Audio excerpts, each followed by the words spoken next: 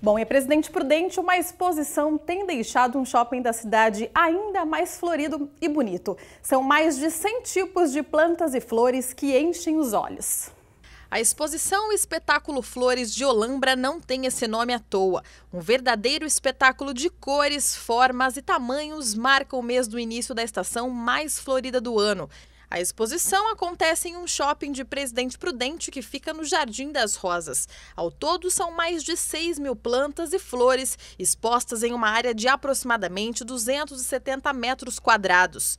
E para quem for conferir o evento, opções não faltam: flores ornamentais, samambaias, azaleias e o destaque para as orquídeas, que encantam os visitantes. E se você ficou interessado em conferir o espetáculo das flores de Olambra, a exposição vai até o próximo dia 2, sempre de segunda a sábado, das 10 da manhã às 10 da noite. Já os domingos fica aberta das 2 da tarde às 8 horas da noite. Fica no shopping da Avenida Manuel Goulart, número 2400, no Jardim das Rosas, em Prudente.